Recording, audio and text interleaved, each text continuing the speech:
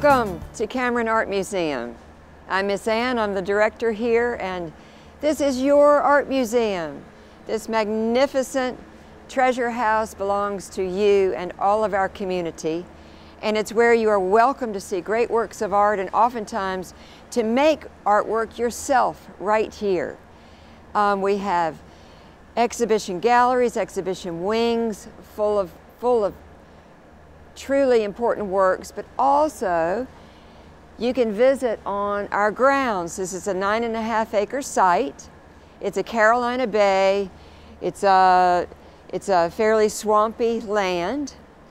And we have important public sculptural works of art that you can see and visit anytime, day or night. For example, there's a lovely sculptural work by Mel Chin, a very important North Carolina artist working out of the mountains of North Carolina currently.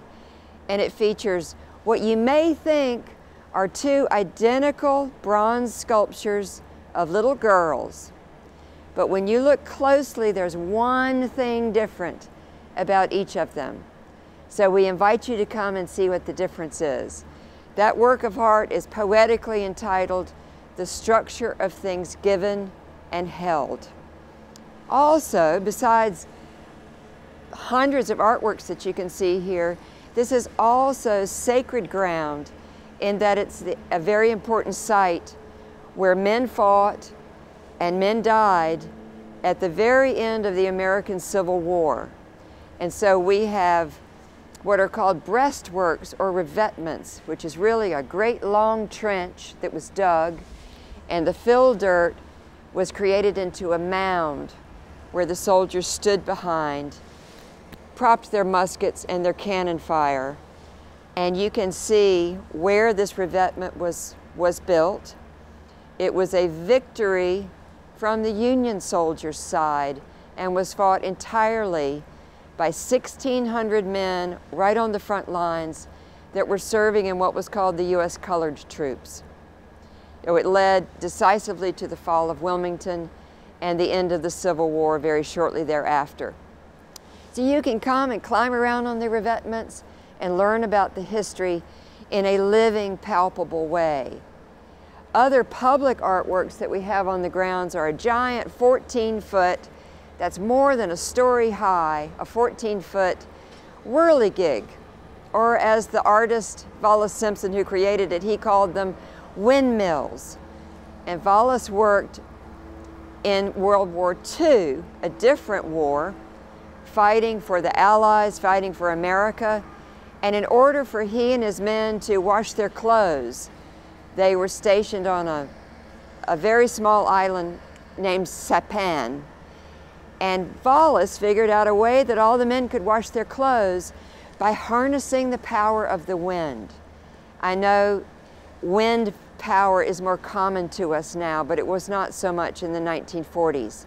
And when Vollis came home to North Carolina after the war ended, he kept making what he called windmills. He remained through his 90s fascinated by different ways to harness the wind. And also he used everything in his sculptures are what most of us would throw away. So you can see how he recycled metal parts to create this beautiful whirligig. Also, we just installed a 17 foot sculpture, which is even higher than the whirligig, and it's called Harmony. It's freestanding, so you can, that which means you can walk all the way around it, and it is featuring three contours that I hope you can see are really distilled images of a man, a very simplified image of a man and a woman and a child. You can visit a recreation of Minnie Evans Gatehouse on the grounds of Cameron Art Museum as well.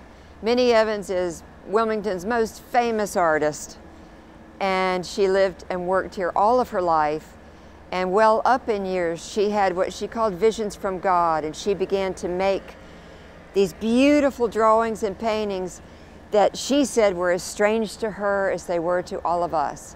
And many of those artworks were made working out of a little tiny shed where she worked as the gatekeeper at Airlie Gardens, which is now belongs to all of us and is, is taken care of by New Hanover County.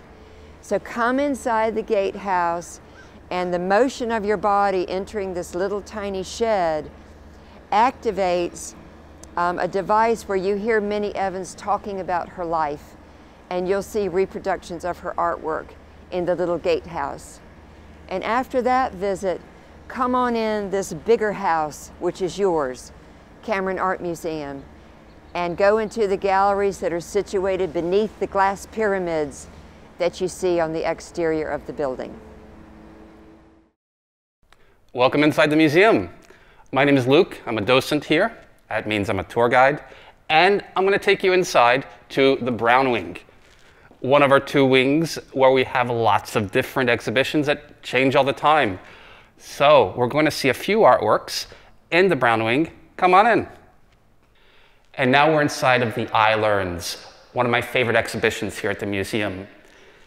Let's take a look at this print, one of my favorites in the exhibition. What do you see? I'll tell you what I see. I see a lot of bouncing balloons everywhere, different colors, orange and blue and yellow, like colors on uh, of Christmas lights, maybe on a Christmas tree, or balloons at a parade. They're going everywhere, this way and that, flowing and swirling and twirling. It looks like a lot of fun. It kind of makes me feel happy. That's why I like it. Now, whenever I look at an artwork, one thing I often do is I ask myself, what kind of music would I play along with this artwork? So, if you had to pick a piece of music for this artwork, what would you pick? Would you pick something slow and sad? I know I wouldn't. I'd pick something that was joyous and happy and energetic. And I've got a guess as to what the artist might have picked out. The artist, Alexander Calder, he loved the circus. When he was a young man, he had an assignment where he went two weeks to just do drawings of a circus. And if you've been to a circus, you know how much fun they can be. And I bet maybe you've heard circus music before. And let me know what you think. Does this music fit with this artwork?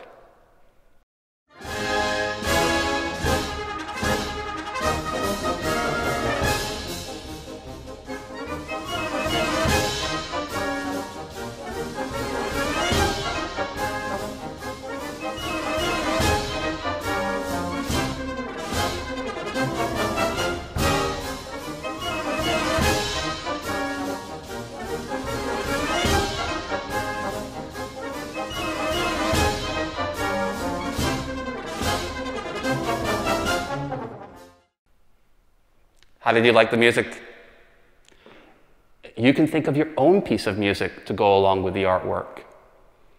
All right, now we're going to go take a look at another artwork, and my friend Georgia is going to introduce it to us. Hi, my name's Georgia, and I'm one of the educators here at the Cameron Art Museum. I am in a different gallery inside the Brown Wing looking at different examples of printmaking. And I've chosen to talk about Roy Lichtenstein and his artwork because he's one of my all-time favorites. Roy Lichtenstein was an important part of the pop art movement. That's P-O-P. And pop stands for both popular culture and colors that pop. Roy Lichtenstein almost only used primary colors, as you can see displayed in the artworks behind me. He focused on red, blue, and yellow, and he also really liked bold, thick outlines. That was because he was often inspired by the work he found in comic strips and in comic books. He, along with Jasper Johns and Andy Warhol, created this art movement that kind of looked at artwork in a different way than it had ever been looked at before. Roy Lichtenstein liked to create artwork that was original to his design, but that looked as though it had been created in a print processing plant. For that reason, you'll notice that a lot of his designs are very simple and linear. And from one perspective, if you look at it from far away, it looks as though the colors are completely solid. But when you get closer up and you take a closer look at the artwork, you'll see that lots of his colors are actually created by a series of dots that are pretty close together. These are called Ben Day dots. And these dots are used in the printing process in order to create a tonal look for comic books and newspapers and different types of printing processes that needed to create the look of a solid color. And he would use these in his artworks. So if you look close up, you see the dots, but if you stand far away, you see something different. And that's a fun thing to do in an art museum in general, is to change up your perspective and how you look at the artwork. Now you can learn more about these artworks as well as several other in our collection by looking at our education resource page. For works like Roy Lichtenstein's and others that you see in our museum, there's art projects listed, biographies of the artist, and even core standards for the teachers to attach their lessons to. So one of the fun things we are often able to do at the museum is to work with you, with our community, children, parents, students, family members, we work with you to make works of art. And that's what you see here. The banner that is behind me is in dedication to the 19th Amendment. 2020 is the 100th anniversary of the women's right to vote. On this banner, there's only about 28 words that you see that make up this amendment, but in that amendment, every woman was given that opportunity to take place in voting. So it changed things dramatically for the history of the United States. Each one of the letters in this banner was made by a different member of our community. Some people as young as eight years old, and some women as old as 80 years old.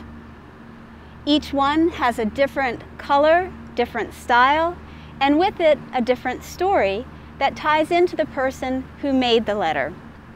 It's been a great opportunity to celebrate the 19th Amendment and also to get involved with people in the community and students just like you. Outside of the museum, we were looking at a banner that was a dedication to the 19th Amendment. That struggle for the right for women to vote began over 70 years earlier, and it began when this man was still alive. Do you recognize him? This is Abraham Lincoln. When I think of Abraham Lincoln, I think of a tall man, bearded, with a tall hat. Some of those things aren't here in this sculpture.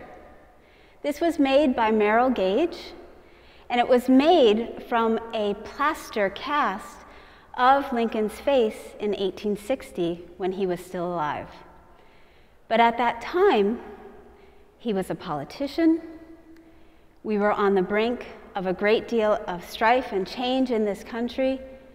And some of those trials, some of those challenges are written on this face. Look closely at his expression at the left side and the right side. You can see a mix of the joy and also some of the pain that he went through throughout his life. It is fascinating to be able to look at a sculpture, to look at a work of art that you can see from all sides.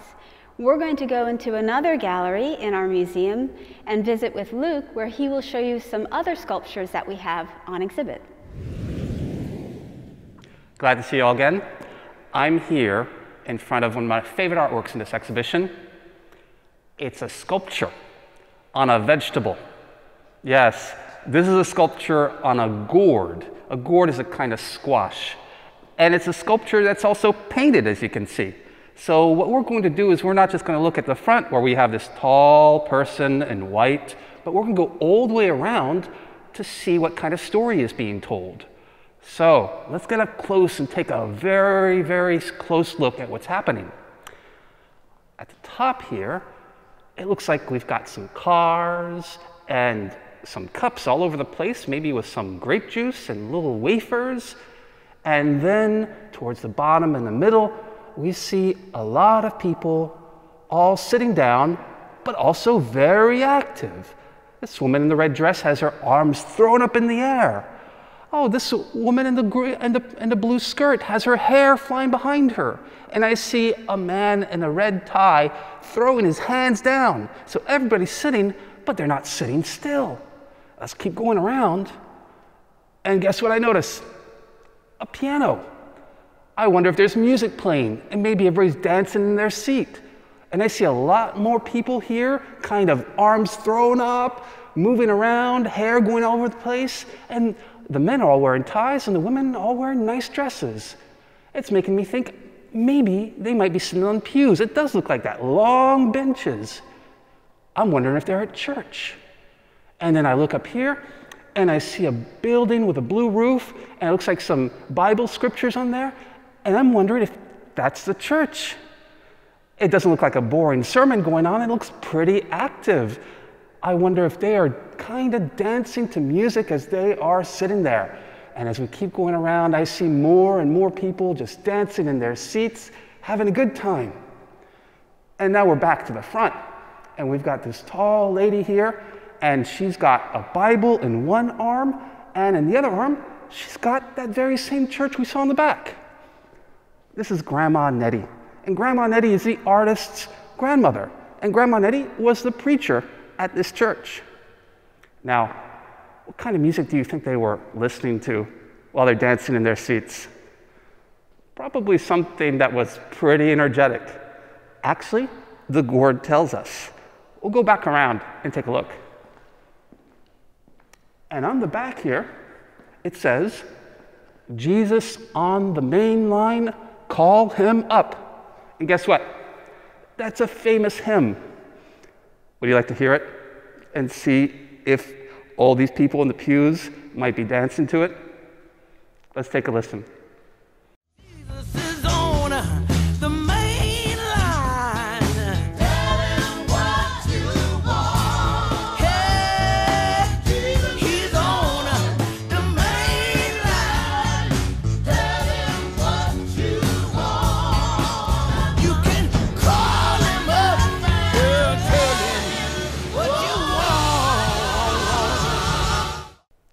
What did you think? Could you imagine everybody in their pews just dancing around listening to that joyous hymn? I really enjoyed this gourd. I hope you enjoy it too and you see more of how music and art kind of come together. Thank you.